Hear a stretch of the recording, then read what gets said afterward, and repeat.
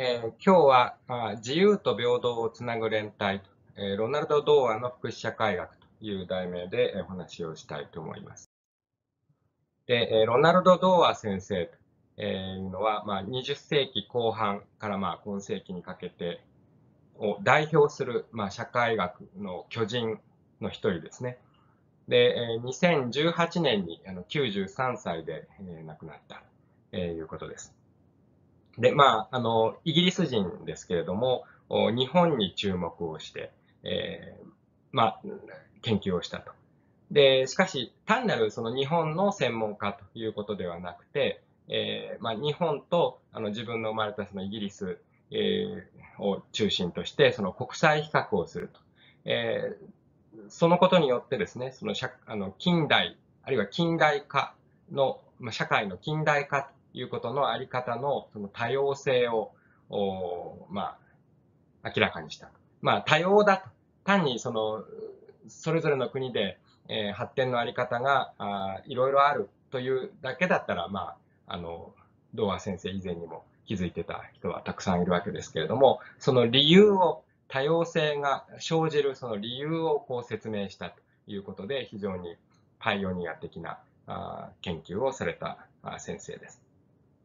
で、私は、あの、まあ、ちょうど20年ぐらい前にですね、1998年から2000年にかけて、えー、まあ、ドーア先生の、まあ、施設研究助手というか、アシスタントですね。えー、まあ、アルバイトでお手伝いをしたことがあります。まあ、そういうようなことで、えー、ドーア先生の仕事に、えー、まあ、興味を持ってき、えー、たということですね。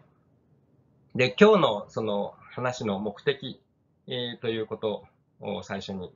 ときますと、まあ、2つありまして、え1つはその童話先生の研究を振り返ることで、えー、まあ、日本社会の、ま戦後のですね、えー、特徴を考えると。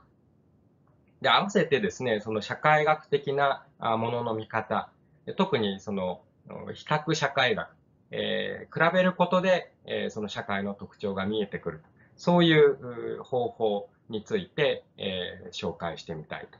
いうのが一つですね。それからもう一つは、まあ、これは隠れた目的と 言えるかもしれませんけども、えー、ドーア先生は、まあ、普通は、あの、産業、労働の社会学、あるいは教育の社会学者というふうに思われているんですけども、実は、その、私と同じ、まあ、福祉社会学者でもあったということを明らかにしたいと。で、こんなことは、まあ、あの、なんていうんですかね、一般的にはどうでもいいことかもしれないんですが、あの、私としてはそういう側面も強調してみたいということです。で、えー、最初にそのドーア先生の略歴を紹介しておきますと、まあ、1925年にイギリスのボーンマスというところで生まれたと。で1942年に、えー、17歳の時に、えー、そのイギリスの陸軍の通訳養成コースで日本語を学び始めたということですね。えー、まあ、1942年ですから戦争中、敵国の言葉を学んで、えー、その敵の情勢を探る。そのために、その、奨学金をもらって、えー、日本語を学び始めた。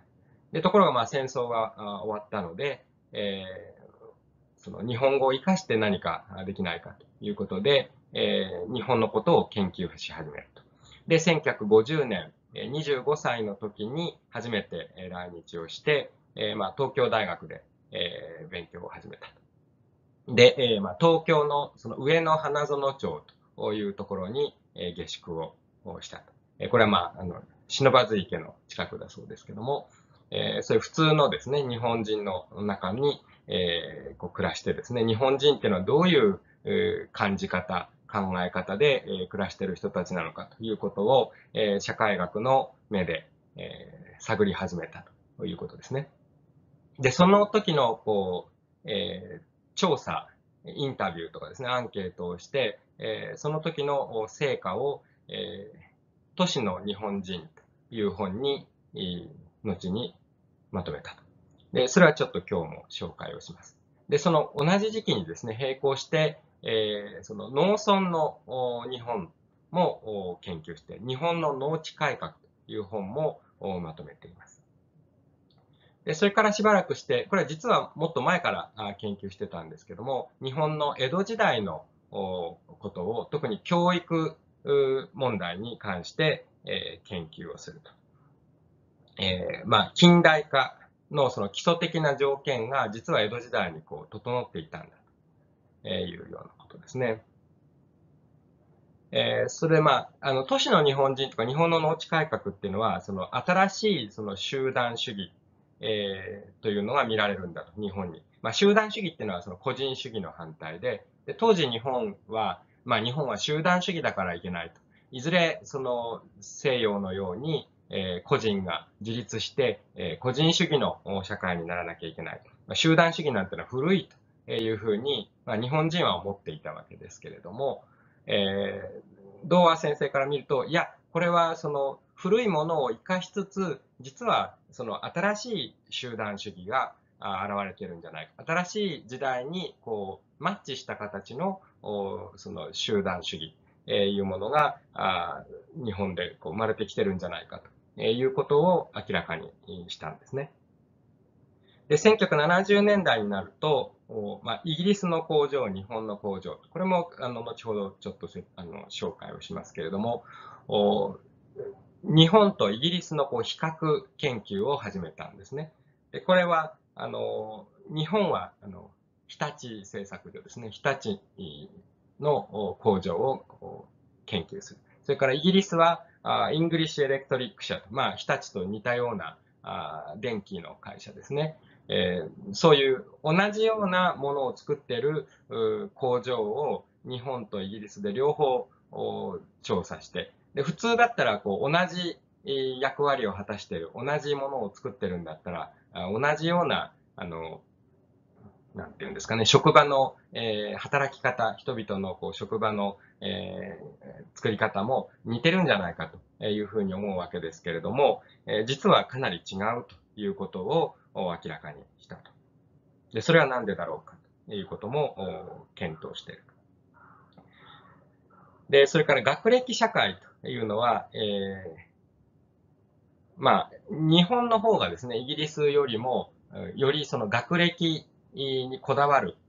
学歴思考の、えー、まあ、学歴病というような言葉も使ってますけれども、えー、そういう傾向を、持っていると。で、これは、まあ、単に日本の特徴というのではなくて、えー、後ほどちょっと説明しますが、その後発効果、えー、なんだと。えー、遅れて出発した、えー、国ほど、うん、ある特徴が現れると。えー、で、この場合は後発の国ほど学歴病にかかりやすいと。えー、だから日本だけじゃなくてですね、韓国とか、えー、スリランカとかケニアとかですね、もっと日本よりも遅れて出発した国は、日本より以上にですね、えー、学歴社会の特徴を持っているというようなことを、え、言ったんですね。で、道和先生の特徴は、日本は日本だから日本なんだ、みたいなことは言わない。ですね。日本はどういうその条件を持っているから、えー、こういうことになってるんだというふうに、こう、それをその分析的に解明しようとしたということですね。それから2000年代になって、え、日本型資本主義と市場主義の衝突と、え、それから誰のための会社にするかというような本を書かれていて、その日本の会社の特徴ですね。え、日本の会社は、あまあ、その従業員中心の特徴を持っている。え、それに対してイギリスとかアメリカとかアングロサクソンの国は、その株主中心の会社であると。で、それが日本でもかなりその最近変わってきてるんじゃないかと。えー、従業員よりもその株主を優先するようなあり方に変わってきてるんじゃないか。えー、ということで、その誰のための会社にすべきかということも含めて、えー、提言をされたということですね。で、2018年にイタリアのボローニャで亡くなった。93歳で亡くなったということです。でこれはその本の表紙ですね。えー、左が都市の日本人、えー、右が学歴社会で、都市の日本人のこの表紙には、まあ、当時の東京の、まあ、どんな家にみんなが住んでたかという、そういう写真が出ていますね。えそれから、これは左がイギリスの工場、日本の工場。で右が、え日本型資本主義と市場主義の衝突という本ですね。で、私は、まあ、たまたまその右のその日本型資本主義と市場主義の衝突、えこれの研究をしているときに、えちょっとお手伝いをしたということです。で、今日はですね、まあ、あの福祉の観点から、あの、道和先生の研究を振り返るということで、えー、まあ、後発効果ということが日本のその特徴を生んでいると。で、後発効果として、その日本では、その家族福祉、えー、家族による福祉、あるいは企業福祉、企業による福祉が、えー、非常にこう定着をしていると。で、その反面ですね、え、国家福祉、え、国があやるその社会保障というのが弱いのではないかということを、まあ、道和先生の研究ではあ言われているわけです。まあ、しかしそれがどういうふうに、えー、近年変わってきているかということもデータで示してみたいと。で、3番のところはですね、現在その AI 時代がこれから到来するということが、こう、ここ数年しきりと言われているわけですね。AI とロボットが発達すると、えー、我々がやってるようなその仕事がなくなっていくんじゃないかと。えー、そうした時代に、えー、どういうこう社会を作っていくべきなんだろうかというようなことも、えー、道和先生はすでにこう考え始めていたということですね。えー、そして、えー、最後に、まあ、道和先生のその100年後の未来に向けたそのメッセージというのを紹介してみたいということです。で、えー、これは、そのジョン・ダンというイギリスの、まあ、昔の詩人ですね、えー、17世紀、えー、の、まあ、有名な詩なんですけども、えー、これがその、道和先生の21世紀は個人主義の時代かという本の、まあ、序文に引用されているんです。道和先生が引用したんですね。これは、あの、非常に面白いですね。え人の子に生まれたるもの、孤島にはあらざるなり。人はすべて等しく大陸の一部なり、え本土の一部なり。一階の土、海に食わるれば、えヨーロッパ大陸の侵食されるところ、大いなる半島の海に飲まるると異ならず。隣人の屋敷、稲、我が屋敷の飲まるると異ならざるなりと。一個人の死は、えー、我が身をも侵食するものなり。我、諸人に関わりある身になればなりと。されば、弔いの鐘のなるや、えー、しもべを送り、弔わるるは他ぞやと問うことなかれと。弔わるるは何時自らでもあればないと。えー、要するに、まあ、人が死んだというので、えー、それは人のこと、他人のことじゃないかと、えー、思う、うなかれと言うんですね。えー、それは、えー、自分のことでもあるんだよとえいうことですね。うん、つまり、人間っていうのは、こ、単に個人で生きてるのではなくて、えー、他の人とつながって、社会とつながって生きてるんだ。えー、それをこう、自覚、すべきじゃないかと。まあ、これはその今日のテーマのその連帯の精神ですね。連帯っていうのは、こう、なんていうんですかね、えー、仲間の人間たち、隣人たちとこう手をつなぐ、えー、肩を組む、えー、そういうことですね。で、えー、今日のキーワードの一つですけど、まあ、後発効果。これはその道和先生が発見した、その一つの社会の、なんていうんですかね、こういう仕組みが、メカニズムが働くということなんですけども、その他の条件を同じとすれば、ある国の工業化、まあ、近代化と言ってもいいですが、工業化が遅く始まるほど、えそれが、その社会が特質 X を示す確率が高くなると。えこういう現象が、ま、いくつもあるわけですね。特質 X はいろんなことがあるわけですけれども、えー、つまり、これは別にいいことだけじゃなくて悪いこともある。メリットもあればデメリットもある。え、それが、その、発展を開始するそのタイミングによってですね、え、そういう特徴が出てくると。単なるその遅れではない。えー、例えば日本はあイギリスに比べて遅れてるからこういう特徴があるんだというようなことではなくて、えー、後ほどこう、えー、発展が追いついてもその特徴が残るということがよくあるということですね。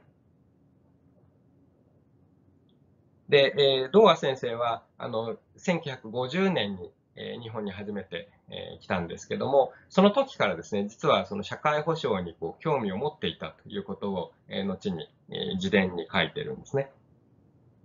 で、1950年に、え、その、大内兵衛という学者がですね、会長になって、社会保障制度審議会というのができたんですけれども、えその事務局で、えガールフレンドが働いていたっていうんですね。えなので、えその社会保障とか福祉にもかなり関心を持っていたというようなことを、え書いています。でこのガールフレンドが誰であるかということをかなり調べたんですけれども、ちょっと、あの、この人かなというところまで、えー、ちょっと考えてはみたんですけども、確実なことまでは、えー、ちょっと突き止められなかったということです。で、えー、その家族に、なぜその注目をしたかということですね。えー、なぜその家族のことを記録する必要があるかと思ったかというと、えー、例えばその夫婦に子供3人で、えー、古いアパートの、え、6畳一間に暮らしながら全くリスペクタブルな、えー、暮らしをしていたと。で、リスペクタブルというのは、まあ、リスペクトできるということですね。リスペクトって言うと、まあ、尊敬ですけど、まあ、尊敬できるというよりは、あまずまず、えー、きちんとした、えー、馬鹿にできない、えー、そんなイメージですね。その英語の独特の表現ですけども、えー、全くリスペクタブルな、あ規範的に言えば、中流の生活を、ああいうみすぼらしい環境の中で維持できている日本人はですね、え、そういうことにこう非常に感心したからであり、今でもそれをはっきりと覚えています。え、いうことですね。まあ、だから6畳一間で暮らしながら、えー、しかし、その、どの家族もですね、えー、支え合っていたんですね。家族で支え合っていたからこそ、そのお互いの家族を、こう、リスペクトできたということですね。えー、そういうのが、まあ、家族で助け合うというのが家族福祉、えー、です。で、都市の日本人に書いてあることは、まあ、その、従業員を、その、社長さんが面倒を見る。困った時には援助をするというようなこと。あるいは、その、地域の共同体、ご近所ですね。ご近所の人たちも、その家族が助け合えるように、えー、助けると。だから、その助け合う単位は家族なんですね。家族の相互扶助ということが非常にこう重視されている。日本ではですね。で、その結果として、えー、まあ、国家による社会保障制度が、まあ、あまり必要なくなっているということを観察しています。で、むしろその日本のその家族関係の道徳、つまり家族で助け合わなきゃいけないというふうに人々がこう思うことによって、その国家の援助を受け入れるのを、こう、ある意味でその積極的に妨害してるんだと。日本の家族はですね。えー、ということを言っています。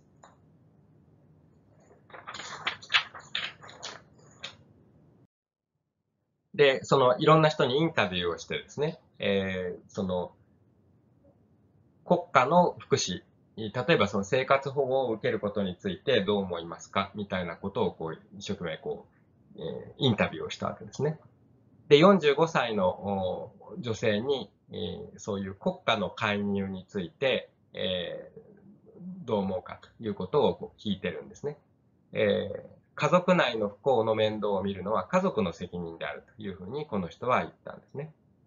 でしかし、えー、その家族とか親戚がいなかったらどうしますかというふうに質問したところ、そうですね、その時には知り合いがいるでしょうから、えー、その人たちに面倒を見てもらえばいいでしょう。知り合いもないとすれば、まあ国家に面倒を見てもらう以外にはないでしょうけれども、そこまでいけば、その世話する人が誰もいないなんていうのは、むしろその人自身の、えー、罪ですね。えー、普段から他人に親切にしておけば、えー、困ることなんかないんじゃないかと思います。えー、つまり、ここでその家族福祉の道徳がこう強化されてしまっている。えー、つまりもともとその国家が助けてくれない。国家の福祉が、あまあ、発達が遅れている。で、そのことが、その家族で助け合うのが当然だというこう意識とかですね、あるいは道徳を作り出して、で、えー、国家に頼るのはむしろこう罪である。えー、家族福祉が大事だねっていうことが、こう、どんどんこう定着して、えー、いると。そういうことを描き出しているわけです。で、次、まあ、企業福祉についてですね。えー、これはまあイギリスの工場、日本の工場から取ってきた言葉ですけども、えー、世紀の変わり目ってこれはまあその19世紀から20世紀への変わり目ですね。20世紀の初頭の、えー、頃の日本では、えー、社会がこう細分化されていたと。えーまあ、家族で助け合うべきだ。え、それからその会社の社長さんが従業員や部下の面倒を見るべきだということが非常にこう強調されていた。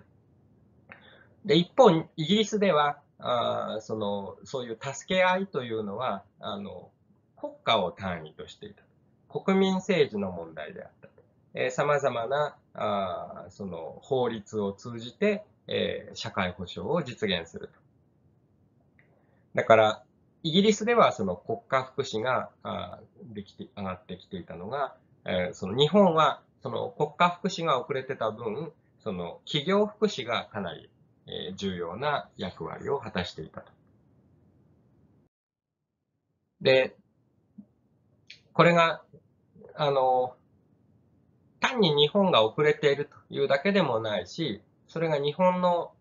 文化の特徴だというわけでもないえー、それはなんでこういうことになったかっていうと、えー、後発効果の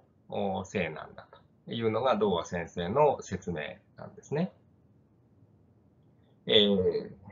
早い時期にその産業化を行った国々、まあイギリスは特にそうですね、一番最初に産業革命が起こった国では、えー、その企業の福祉と並行してその国家の福祉、えー、いうことがこう発展してきていると。で、それに対して日本は、その、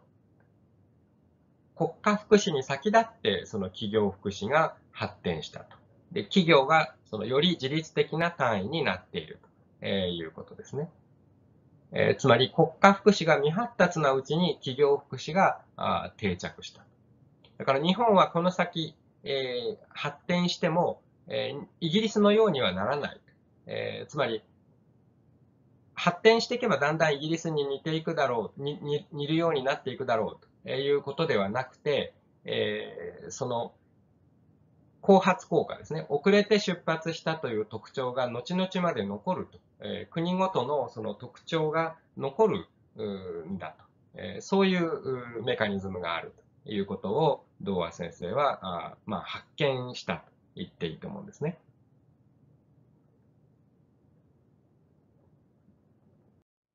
で、まあ、まあ、それは正しいといえば正しいんで、今でも成り立つことだと思うんですが、あの、そうは言っても、その、日本のやり方もですね、変わってきてるところは変わってきてるというのが、これは童話先生じゃなくて、私の研究ですけれども、えー、その家族福祉とか企業福祉が、えー、この何十年かで、えー、どういうふうにこう変わってきているかということを示したあデータです。これはあの別の機会にもお見せ、え、したものですけれども、えー、上の表はですね、老後の生活の望ましい賄い方というので、えーまあ、1980年の段階では、あの、家族が面倒を見るべきだという人も、まあ、あの、少しはいたわけですね。かなりいた。えー、まあ、日本はその1980年の段階でも、えー、家族が面倒を見るべきだという人は、えー、まあ、18、19%ですか。それに対して、えー、まあ、日本より発展がこう遅れて出発した韓国では、えー、49.4%の人が、えー、その家族が面倒を見るべきだというふうに言っていた。ところが2010年になるとですね、えー、同じ韓国でも、いや、社会保障で面倒を見るべきだという人が増えてきて、むしろその家族が面倒を見るべきだという人は6.6%というふうにこう減ってきた。で、こうしてみると、日本が2010年のところを比較すると、え、家族が面倒を見るべきだ、え、社会保障で面倒を見るべきだというのが日本、韓国、アメリカで、え、ほとんど大差ないですね。えほとんど同じになっているということで、えその遅れて出発したあ日本とか韓国であっても、ほとんどその意識の面ではあの変わらなくなっている。社会保障で、あるいは自分で、え面倒を見るべきだ。えいうような考えが主流になってきている。しかし、まあ、あの、韓国の場合はですね、今でもちょっと特徴が残っていて、えー、下の表はですね、現在の生活費を何で賄っているか、これは高齢者の話ですけども、高齢者があその年金をちゃんともらえてるかどうかっていうと、2010年の段階では、あまだ30%の人しか高齢者、高齢者の30%の人しか、えー、年金、公的な年金をもらっていない。日本はその時点で、まあ、80%を超えてるわけですね。で、あの、韓国ではその分ですね、あの子供からの援助というのが重要なあの役割を果たしていると。えまあ、要するに家族福祉というのが続いている。これはまあ、その韓国のその日本よりも後発効果がまあ強いということが言えるかと思いますね。まあそうは言っても韓国でもその年金制度をこの間、えー、整備してきていますから、これは近いうちに、えー、日本と同じような方向にこう変化していくだろうというふうに思われるわけです。でその面、そういう意味ではですね、その後発効果っていうのは、絶対的なものではなくて、えー、後発の国もこう変化していく、えー、家族福祉えー、だけにはとどまらないということが言えるかなと思います。それから、企業福祉ということについては、このグラフを見ていただきたいんですが、え、これちょっとわかりにくいんですが、この部分がですね、え、企業、まあ、企業はあの従業員の福祉のためにですね、お金をたくさん出すわけですけれども、え、法定福利というものと法定外福利というのがあって、えー、左側のですね、えー、3つの項目、健康保険、厚生年金、労働保険、これは法律で決まっていて、えー、企業があ従業員を雇うと政府にお金を払わなきゃいけないわけですね。保険料を。えー、これを法定福利と言います。で、それに対して、ここの赤でお示ししたところは、あの、法律では決まってないんだけれども、え企業が従業員のためにこういろいろこうサービスをすると。えー、例えばその住宅というのはその社宅を提供するとかですね。あるいは企業独自のその医療保険を提供するとか、あいろんなことをやってるわけです。で、えー、まあ、道和先生が、あその日本で、その、えー、イギリスの工場、日本の工場を調査のための調査をしたのが1960年代ですね。えー、その時代には、あこの法定外福利、法律で決まってるんじゃないけれども、企業が従業員の面倒を見るというような、そういうその企業の取り組みが、その企業のその出費の中の、えー、福祉的な出費の中のあの50%以上を占めていたわけですね。それに対して現在ではだんだんその健康保険とかですね、年金とかの保険料国でやっている福祉のために企業が出費を求められる。その部分が非常にこう増えてきているので、逆にその法定外の企業が独自でやっていた、その企業福祉ですね。そこがこうだんだんこう小さくなってきて、現在ではその2割ぐらいになってきているということですね。だから、まあ、童話先生が見たような、その企業が、あその従業員の面倒をこう見るというようなことは、えー、ちょっとこうその比率が低下してきているかなというふうに思います。で、代わりにですね、国家福祉というのが日本でも拡大をしてきていると。え、これはまあ1990年の段階では、え、まあ高齢化も、うん、10%, 10ちょっとでしたし、え、社会保障のその支出というのもこのぐらいだったんですけども、え、それが2010年になるとですね、え、かなりですね、高齢化が進み、えー、まあ、高齢者が増えると、えー、年金とかですね、医療保険とか福祉とかいろんなことにお金がかかるようになってきて、えー、その、経済に占めるその社会保障、え、国家福祉の、え、割合がかなりこう、え、大きくなってきているということですね。まあ、産業化が進むと、その人口の高齢化が進む。で、高齢化が進むと、その経済に占めるその福祉の割合が大きくなっていく。国家福祉が拡大していくということですね。そういう意味では、そのドア先生が言ってたような、その、まあ、後発効果というのが、その福祉の場面ではかなり小さくなってきているんじゃないかと言えなくもないわけですね。まあじゃあ、そういう後発効果による特徴は、まあ全てこうなくなってしまったのかというと、そうではないいうのが次のお話です。えー、日本はですね、えー、その年金制度、高齢者のための福祉というのはかなり整備してきているんですけれども、一方では、あその、ここにお示ししたように、その家族に対する、その、福祉というのが弱いんじゃないか。まあ、家族っていうのはその子育てをしているような若い家族に対する支援というのが、えー、まあ、最近、えー、頑張ってきてはいるとは言いながら、えー、例えばそのイギリスとかスウェーデンとかに比べると、えかなりその、えまあ、お金で見た時のその比率は低いいうことがわかります。これ赤で示したところですね。え日本は横軸で見ると、その高齢者関連の公的支出はかなり伸びてきてるんですね。さっき示したように、その支出が増えてきている、その中身は高齢者向けのものが増えてきていると。で、一方、その縦軸はそのえ子育て関連ですね、家族関連の公的支出というのは、えこの間、その保育所を整備したりとか、えー、ということで、えー、かなり頑張っているようにえー、その新聞とかを見ると思えますけれども、しかし、その、例えばイギリスやスウェーデンと比べて、その縦で見るとですね、かなりその割合は低い。で、お隣の韓国はですね、えー、これは、あの、青色で示しましたけれども、えー、まだ高齢化がそれほど進んできていないので、その分、えー、家族関連の支出を、まあ、日本よりもですね、えー、急速に、えー、伸ばすことができていると。えー、これはまあ、まだ余力があるということですね。で、こうしてみると、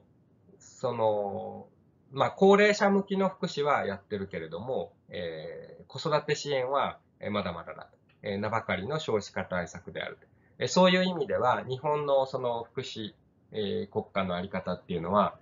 その持続可能なんだろうか。え、次の世代が、え、生まれるのをこうちゃんと応援してないじゃないか。ということが言えるかもしれない。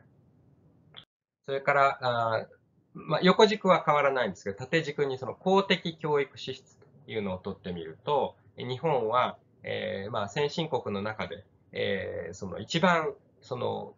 教育にお金をかけてない、えー、国ですね。えー、その、ここで取ってるのは、その1990年から2015年にかけて、えー、ですけれども、その間、えー、教育支出は全然伸びていないということですね。日本は横、横ばいですね。えー、それに対して、えー、他の国はみんなその公的教育支出にかなりもっとお金をかけていて、で特にお隣の韓国では、うん、その、イギリス並みにですね、えー、その教育支出を伸ばしてきていると。ということです。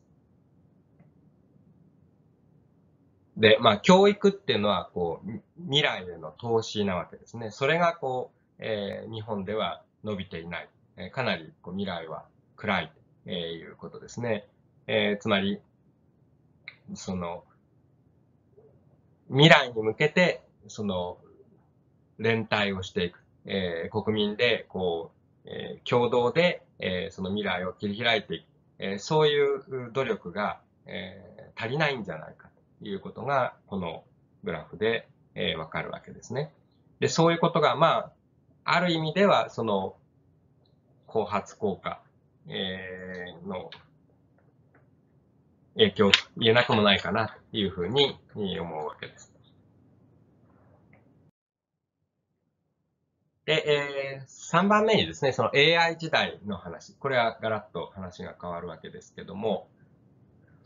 えー、皆さんの中にはですね、この新聞とかで、えー、その AI、ロボットの話を、えー、読んだことが、あるいはテレビとかで聞いたことがある人もいると思うんですけれども、2013年にですね、オックスフォード大学のフレイ・オズボーンという人が、えー、まあ、その、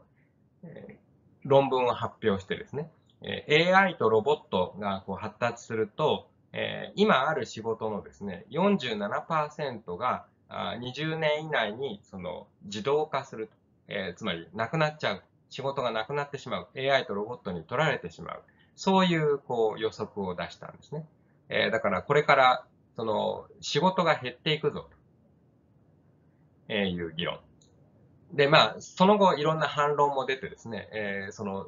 ある、今、今、ある仕事がなくなったら別の仕事が出てくるので、えー、そんな心配はないんだというような意見もあったりしますけれども、えー、しかし、この AI 問題というのはかなり、えー、議論になってきていると。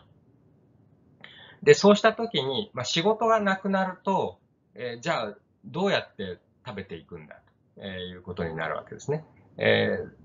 で、そこでその BI、ベーシックインカムと言いますけれども、えー、国民、みんなにですね、えー、その、毎月、えー、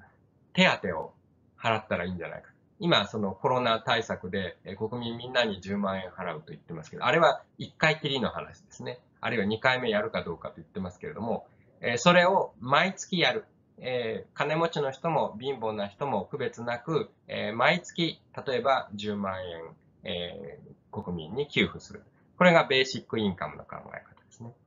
で、AI 時代にはですね、そういうその、まあ、AI ロボットでその経済は豊かになるわけですね。生産性は上がるわけ。だけども、えー、人々にその仕事と給料が、えー、行き渡らなくなるので、えー、その分、その国家福祉を強化して、えー、ベーシックインカム、えー、金持ちとか貧乏な人とかいちいち区別せずにですね、えー、一律で、え、毎月、例えば10万円、え、給付したらいいんじゃないか。そうすれば、基本的なあ生活は安心することができる。で、その後で、え、じゃあ、もっとクリエイティブな仕事をしたい人はすればいいし、まあ、あの、趣味に行きたいという人はそれでもいいし、ボランティア活動をしたいという人はそれでもいいし、えー、という、そういう、うん、社会にしていったら安心して、えー、暮らせるんじゃないかというような議論が、まあ、最近流行ってるんですね。あの、で、ドーア先生は実は、その最近流行ってるその議論を実は30年前から、あもっと前からですね、えー、その、主張していた、提案していたいうのが、以下に紹介する話です。で、1987年の段階で、その技術変化、えー、つまり技術がしあの発展してくるとですね、えー、その、非常にこう、高度な仕事が出てきて、で、その高度な仕事は、その教育を一生懸命頑張っても、えー、そのこなせない、えー、いうこと。えー、そして一方では、あの、誰でもできる、ちょっと努力すれば誰でもできるようなタイプの仕事は、その自動化されて、機械化されて、えー、なくなってしまう、えー、いうような社会になってきてるんじゃないかと。で、そうだとすると、まあ、これまで私たちの常識になっている、その、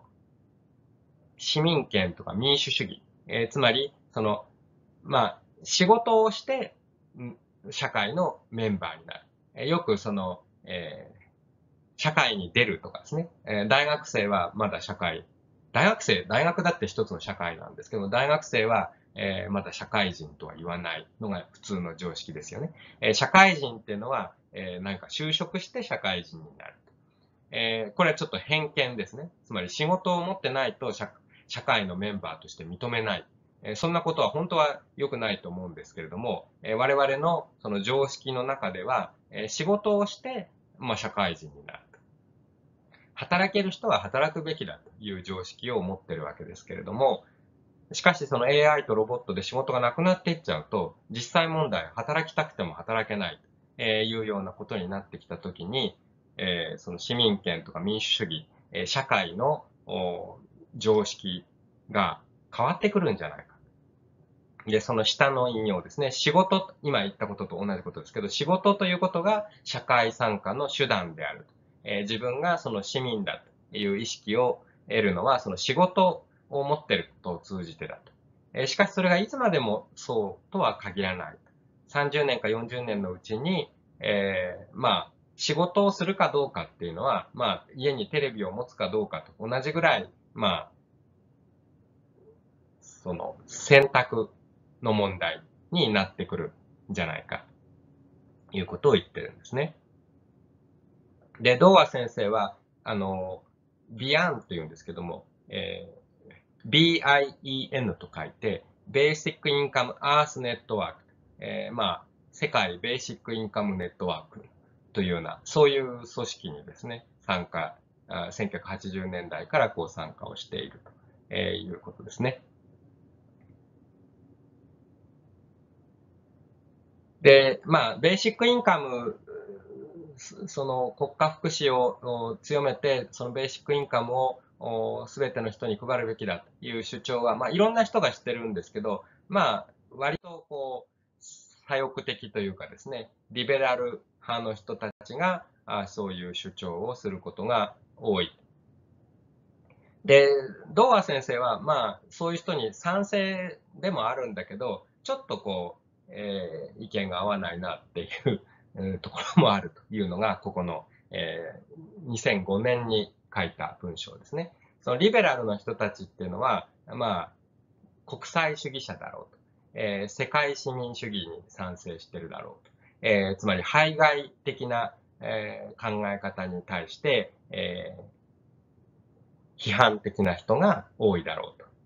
で、だけども、まあ、ドア先生から見ると、そのベーシックインカム、つまり国が税金を集めて、それをみんなにこう一律に配るというようなことは、かなりその文化的な同質性、えー、あるいはその国民意識の強さ、えー、社会連帯、えー、つまり、その、国民みんながこう、仲間だなと思える、えー、そういう条件が整ってないと、えー、かなり難しいんじゃないかということを言ってるんですね。えー、再分配の与え手と受け手の双方で、えー、自分たちはその共同体のメンバーなんだという、そういう意識がこうないと、えー、つまりお金を取り上げてですね、それをこう配るというようなことが、あその、みんなが賛成しないんじゃないかというようなことを言っています。だから、連帯意識ということが、え、鍵になってくる。で、その議論の延長でですね、その日本がどのぐらいそのえー、AI、BI をですね、えー、実現する可能性があるだろうかということを、うん、議論しています。で、その際もですね、あの、道和先生から言わせると、その後発効果ということが、えー、プラスに働くんじゃないかという、うん、期待を示してる。ですね。で、これはまあ最晩年ですね。2014年、えー、まあ、90歳近くなってから書いた文章ですけれども、まあ、そあの、私の2行目ですね。私の描いた産業社会の発展経路が、え未未来のシナリオとして、まあ、大体正しいことが判明したと仮定してみようと。まあ、要するにさっき言った、その技術変化、技術の発達とともに、その仕事がなくなってい、えー、くと。えー、で、まあ、そういう社会では、えー、ベーシックインカムが必要になってくるんじゃないかと。そういう、まあ、大筋の流れが、え、正しかったとして、で、そういう世の中であってもですね、えー、20世紀と同じく、その国際競争というのはなくならないだろうと。えー、どういうその、えー、国があその国際競争で勝つだろうか。で、勝つためには、えー、その助け合いのですね、そのベーシックインカムの仕組みを導入していかなきゃいけないんじゃないか。で、童話先生の予想では、まあ、北欧諸国が、まあ、上位に入ってくるんじゃないかと。北欧諸国っていうのは、えー、まあ、すでにそういう国家福祉を実現してるわけですね。えー、つまり、えー、家族とか、えー、企業単位ではなくて、えー、国家単位のその連帯、助け合いの仕組みをかなりもうすでに充実させてきている。で、その延長線上で、えー、ベーシックインカムを実現することができるんじゃないか。で、そういう社会は、あまあ、あの、21世紀後半に生き残っていける強さを持った社会なんじゃないか。で、これ、現実にですね、例えばフィンランドでは、その、ベーシックインカムの実験、えー、つまりベーシックインカムをやっても、えー、経済は回っていくという、そういう実験をこう、やってみたりしているわけですね。で、日本はまだそんな議論は全然、実際には起こってないわけですけれども、えー、まあ、これはかなり希望的観測も込めてということだと思いますけど、えー、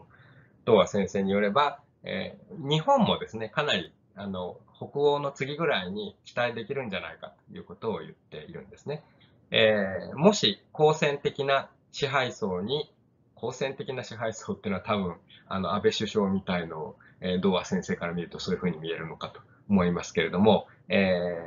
ー、まあ、要するに、例えば、え、中国と、え、喧嘩をしたりとかですね、そういうようなことを考えてるんだと思うんですけども、え、そういう現在の政治家たちに対外平和的な形で、え、草の根コミュニタリアニズムを思い出させることができたならば、え、それほど引けを取らないのではないか。これちょっとわかりにくいですけども、え、つまり、日本にはその草の根コミュニタリアニズムがあるんだと。まあ、コミュニタリアニズムっていうのは、まあ、共同体主義。えー、つまり、えー、草の根ですね、その、えー、地域とか、えー、会社とかで、えー、単にその、個人が、えー、個人主義で、えー、自分のことしか考えないというのではなくて、えー、まあ、集団主義というかですね、共同体、えー、お隣の、えー、人のことも考える、お互いに助け合う、えー、持ちつ持たれつ、えー、助け合うと、え、そういう、えー、伝統がまだまだ日本には残っていると。まあ、これはドア先生のこう期待、えー、も含めて ということだと思いますけど、まあ、だから、その1950年代以来、えー、日本の、えー、その、都市の日本人とかですね、えー、日本の工場の調査とかを通じて、えー、見てきたような、そういう、その、えー、助け合いの精神が、まだまだ21世紀の日本にもこう生き残っているんじゃないかというふうに、えー、ドア先生は見てるわけですね。で、えー、そういうその仲間内の助け合い、仲間内の団結というものは、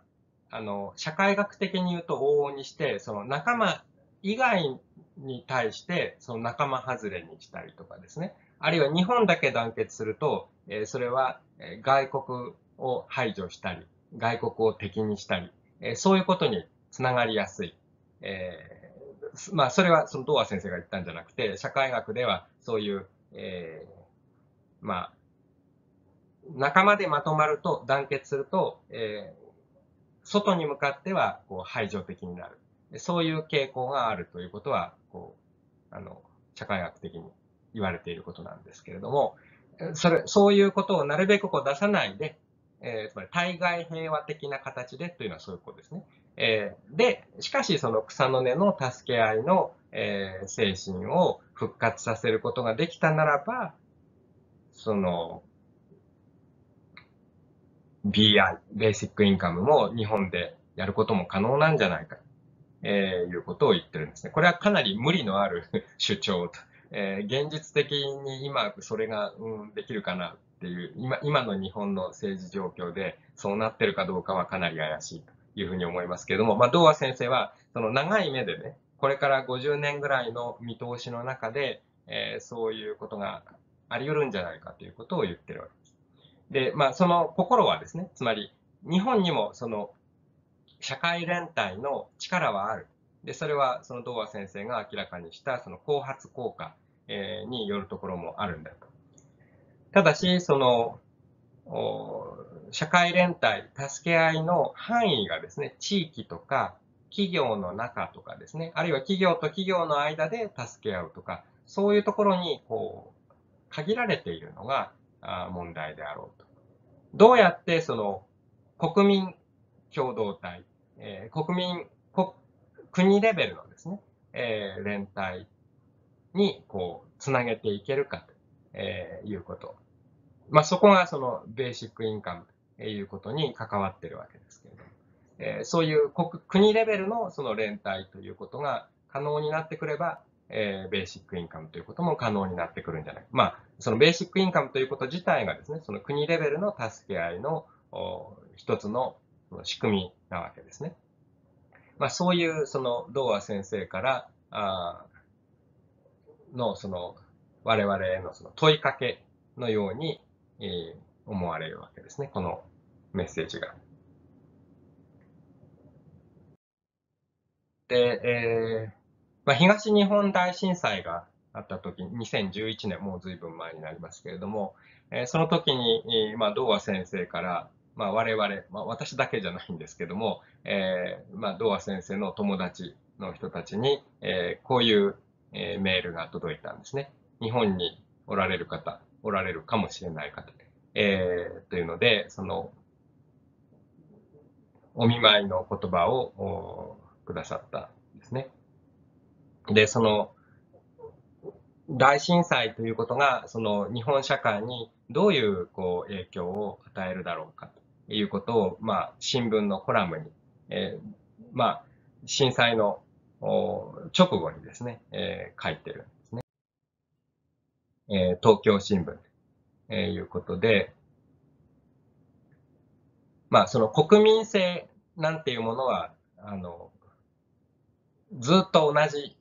ものではないんだと。えー、変わるものだ。だけど、そう簡単に変わるものでもないと。えー、何十年とかですね、そういううちに変わっていくものだと。で、過去20年間、その日本ではですね、その自己責任、規制緩和、自由化、えー、民活、えー、小さい政府。まあ、どっちかっていうと、その個人主義の方向に、えー、向かってきていたと。えー、ネオリベラリズムと言ったりしますけれども、えそういう方向に社会が進んできていた。えなのに、えまあ、今回のその東東日本大震災にあって、え助け合いの精神です。ボランティアの活動が活発になったりして、え持ちつ持たれつの精神がこう復活してきている。で、それから、その役人もですね、えー、国民のために、えー、ベストを尽くすこともあり得るという意識も復活してくる。えー、とすると、その、えー、まあ、アメリカ型の個人主義に、こう、随分、こう、流れていたのが、えー、もう一度、こう、逆方向にですね、こう、振り子が戻ってくる、そういうきっかけに、大震災がなるかもしれないな。もしそうだとしたら日本人は、まあ、恵まれた国民であると言うべきで、なのだろうという、そういう感想を書いてたんですね。で、それでまあ、あの、私は、まあ、ちょっと嬉しくなってあの、メールで返事をして、えー、そういう、なんていうんですかね、ボランティア精神の高揚、えー、つまり、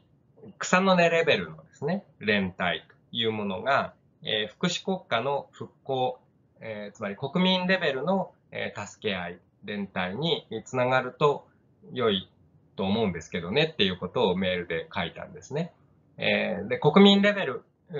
の連帯のためには、まあ、消費税をアップしてですね、えー、その国がちゃんとお金を集めて、そしてそれをみんなに配る。えそういうことを強化していくべきだと私は考えてるんですけれども、えそういうふうになるきっかけになるでしょうかねっていうことをメールで送ったところ、えー、早速返事が来てですね、いや、そうはならないでしょうねっていう、えー、つまり、えー、その社会連帯の意識というのは、うん、たった1、2週間のそのボランティアで、その、えー、被災地を支援するというような活動が起こってるからといって、えー、そうはならないでしょうね。えー、それは、童話先生から見れば、その、えー、第二次大戦、え、何年間もあって、え、それでこう社会の、えー、あり方がこう変わった。えー、そういうことに比べると、まあ、その、大震災なんていうのは割とこう一過性のものに、えー、過ぎないんじゃないか。長期的な、えー、効果というのは少ないんじゃないか。えー、だから、あの、新聞に書いたのは、これでこう連帯意識がえ復活してくるんじゃないかというふうに論じてたわけですけども、え実は、えそういう、あの、もうちょっと冷めた、え観察、え冷めた分析をしていたということですね。だから希望は社会連帯が起こってくるといいなと思ってるんだけど、まあ、なかなかそれも難しいだろうねというふうに、こう、実際のところは観察をしていたということですね。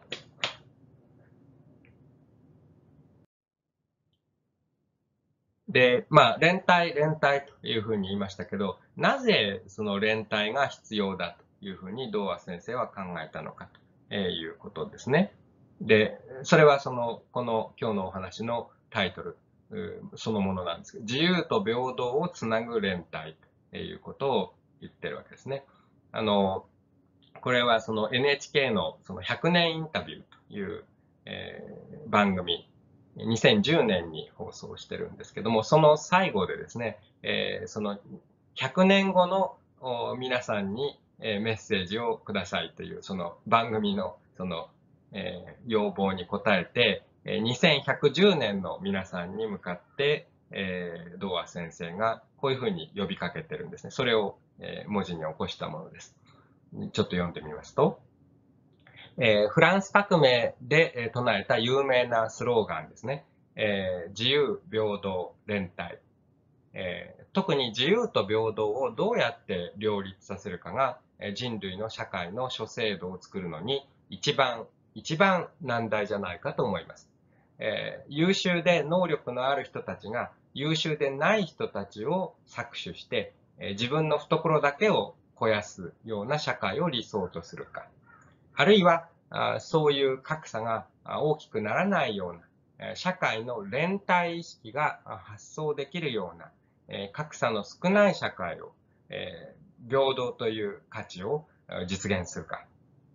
その両方の価値をどうやって、どういうバランスをするかが、人間の社会の非常に重要な課題だと思います。そして2110年の皆さんがあそういう謎々の難題を解決していることを心から望んでおります。いうふうにおっしゃってるんですね。で、まあ、ちょっとこれは、あの、話し言葉ですから、えー、ちょっとなんだかわかんなくなるところもありますけれども、うん、まあ、あの、面白いのは真ん中辺のところで、えー、そういう格差が大きくならないような社会の連帯意識。えー、つまり、あの、社会の助け合いの連帯の意識があれば、あの、格差は大きくならない。えー、つまり、意識があれば、えー、そういう格差が大きくならないような制度を作っていくことができると。だから、意識から制度へという側面と、え、しかしその社会の連帯意識が発想できるような格差の少ない社会。え、つまり、格差が大きくなっちゃうと、あ、あの人は我々とは別だよねっていう風になってきて、えー、上の下と、格差のですね、上の方の人と下の方の人が、こう、仲間じゃなくなっちゃう。えー、連帯意識が、うん、薄くなってくる。えー、つまり、その、ある社会の制度が、どういうこと、どういう風であるかということによって、その意識の特徴も決まってくる。えー、ここではだから、制度が意識を決めていくという側面もある。だから、意識と制度というのが、こう、相互作用を起こしている。つまり連帯意識があれば、その自由で平等な社会、え制度が出来上がるあ、作ることができる。しかし、その自由で平等な社会や制度があって初めて、えー、その人々の助け合いの意識、連帯意識もできてくるということで、だから、まあ、どっちが卵でどっちが鶏なのかっていう話になりますけども、まあ、両方なわけですね。だから、一旦崩れると、えそれをこう復活するのはなかなか難しいわけですけども、えそういう、こう、え、自由と平等を実現する、え、フランス革命で、え、出てきた、こう、え近代社会の価値ですね。両方大事なことなわけですけども、それを本当のところみんなのために実現するためにこそですね、えー、連帯ということが必要になってくる。連帯意識ということが必要になってくるんだと。それがまあ、道和先生のメッセージだったわけです。で、別のところでは、道和先生はこういうふうに書いていて、日本経済の競争力ばかりでなく、日本社会の行方も考えてください。というふうに書いてるんですね。えー、まあ私たちは、その童話先生の作作品を手がかりにして、えー、日本社会の、まあ、100年後の未来を考えていきたいというふうに思うわけです。